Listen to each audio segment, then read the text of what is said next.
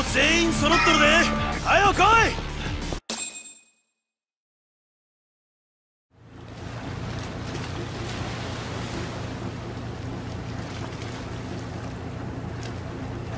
よしこっちはいつでも出れるでナギモ待ってくれ。あ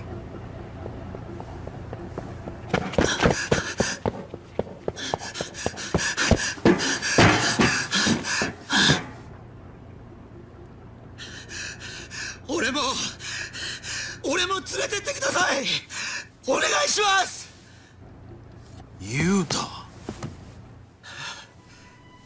俺はあいつを助けてやりてえんです。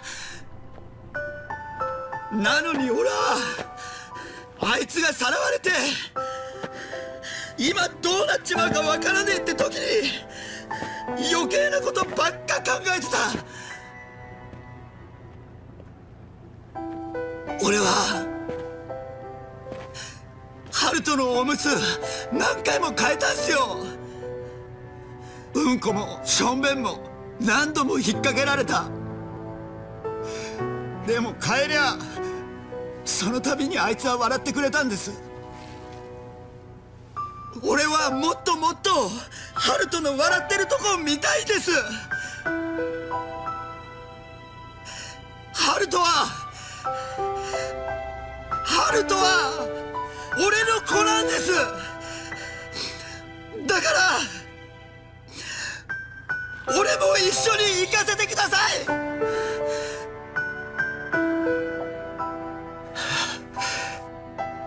当たり前じゃ！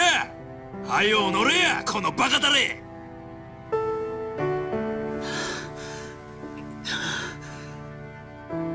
ええじゃろ兄貴。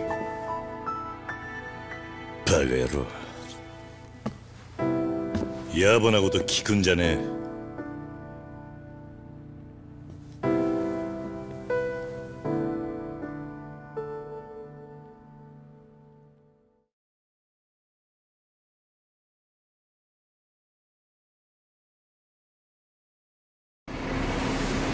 わかりました。どうも。恩に来ますわ。漁協の仲間が怪しい船を見たそうじゃ。間違いないで。赤ん坊はそいつらがさらってったんじゃろう。そいつらどこに向かったんじゃ。操船所が沖に浮かべとる資材があるじゃろう。どうやらそこに紛れとったらしいで。資材に紛れてった。どういうことだまあ見たらわかりますわ。確かに船ごと身を隠すにはもってこいの場所かもしれん。そういや舛添はどうした？神社で襲われた時逃げたきりですわ。ほっとけええんじゃあのけど。おやっさんもあんなんかくまう必要ないじゃろうが。まあそういうね高頭しかし坊ちゃんさらってった連中は何者なんじゃ？のう兄貴あいつらは人言派だ。連中の中に半純義がいた。間違いねあいつが広島に？誰がさらったにしても黒幕は岩見恒夫だろう親分。俺にはまだよくわからねえことがあります。なんだい？この尾道と西洋会とのつながりです。あ？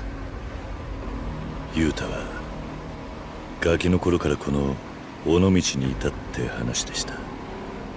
舛添達川って平ハイツの二人も昨日今日尾道に潜り込んできたわけじゃない。西洋会と尾道の間にはずっと前から何か因縁があったはずです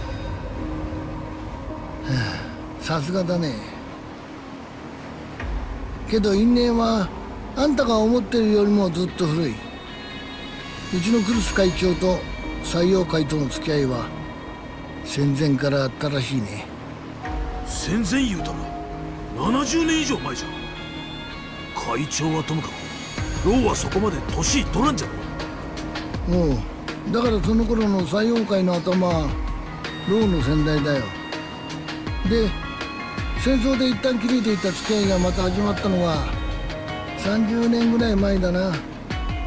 採用会はローに代替わりしてた。30年前。その時2つの組織をつないだのはさ T ハイツの密航ビジネスだよ。え？T ハイツってのは戸籍のない中国人の子供たちだローはその子たちを尾道に密航させてよ。クルス会長がその受け入れを頼まれてさ。しかも会長はそのヘイハイツの子供たちに闇で日本人の戸籍を作ってやってさ。ざっと1万人ぐらいの子がそうやって日の目を見ることができたんだ。俺も若い頃はその事業を手伝ってたよ。おやさんも？そがなこと初耳ですわ。お前に言ってねえことなんかまだ山ほどあんだから。親分その兵ハイツの件にはクルス会長の息子岩見恒夫も絡んでいたんですか？ん？ああ。常もローと話す機会はあったろうな。そうか。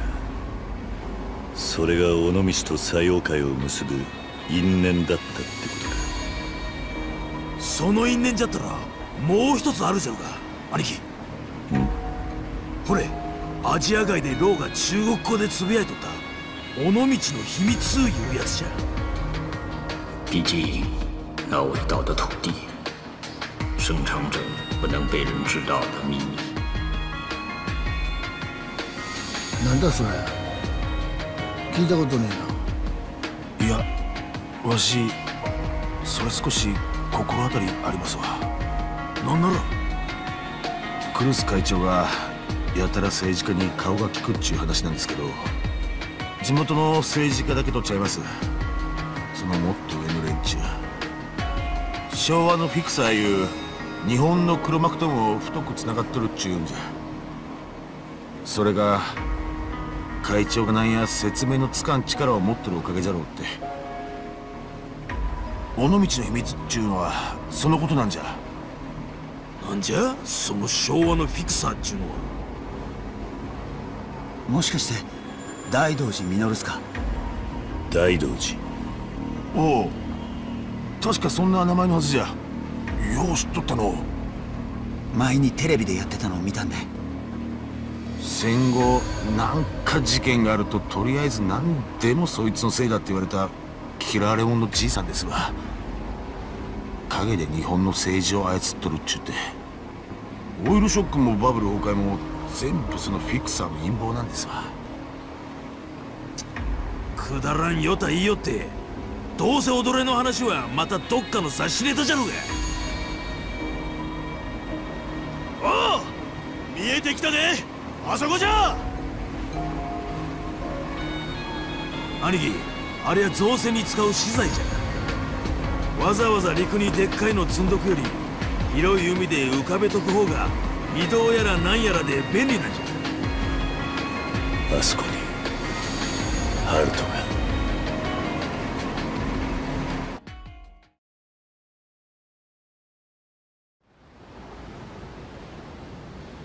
が。よ桐生さん。悪いが俺といいのは船で待たせてもらうよええもちろんです。なあお嬢ちゃんたちのこと隠してて悪かったな。俺も迷っちゃいたんだけどよ。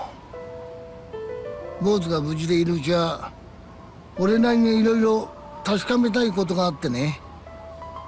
まあ結果がこのざまだけどよ。坊主のこと頼むよ桐生さん。それとさいつだったかお嬢ちゃん親として坊主を育てる自信がついたら沖縄に帰りたいって言ってたぜ。はるかが。あの子があんたにも黙って消えたのはさいつかあんたのところに帰るためだったんだよ。な？必ず。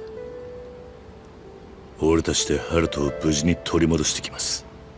親分